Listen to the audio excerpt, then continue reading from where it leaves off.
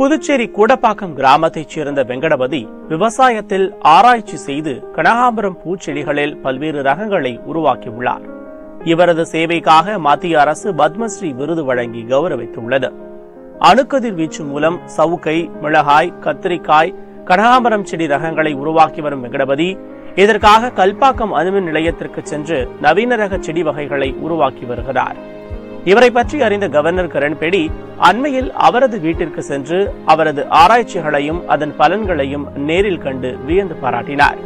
தற்போது காமா கதிர்வீச்சு மூலம் ஐம்பது வகையான கனகாம்பரம் பூச்செடிகளை கண்டுபிடித்துள்ள வெங்கடபதி அவற்றிற்கு புதுச்சேரி கவர்னர் கிரண்பேடியின் பெயரை சூட்டியுள்ளார். கனகாம்பரத்தில் ஐம்பது ஆண்டுகள் முயற்சியில் ஐம்பது ரகங்களை உருவாக்கியுள்ளேன். அந்த கனகாம்பர செடிகளுக்கு புதுவை ஆளுநர் அம்மா கிரண்பேடி அவர்களை பெயர் சூட்டி மனம் மகிழ்ந்துள்ளேன். இந்த இனத்தில் அதிகமான மகசூல் பல வண்ண வண்ண மலர்கள் கிடைக்கும்.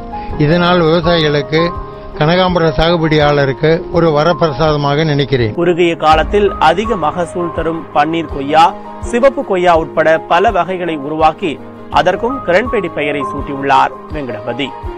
ஆர்கா கிரீன் தாய்வான் பிங்க் சஃபேதா ஆ, பன்னீர் கொய்யா இது மாதிரி வகையான கொய்யாக்களை காமா கதிர்வீச்சு மூலமாக புதிய இனங்களை உருவாக்கியிருக்கேன் ஏழைகளின் ஆப்பிள் எனப்படும் கொய்யா சாகுபடிக்கு குறைந்த விலையில் தரம் குறைவான கன்றுகளை விவசாயிகள் வாங்க வேண்டாம் என அறிவுறுத்தும் பத்மஸ்ரீ வெங்கடபதி நல்ல மகசூல் தரும் கன்றுகளை பயன்படுத்தினால் அதிக லாபம் பெறலாம் என்கிறார் இந்த விவசாயிகள் வீணா போறது காரணம் என்னன்னா மிக குறைவான விலைக்கு ஏதோ ஒரு கொய்யா கண்ணை எடுத்துக்கிட்டு வந்து வெட்டி ஒரு ரூபா ஒன்னாறு ரூபாய்க்கு கொடுக்குறாங்க.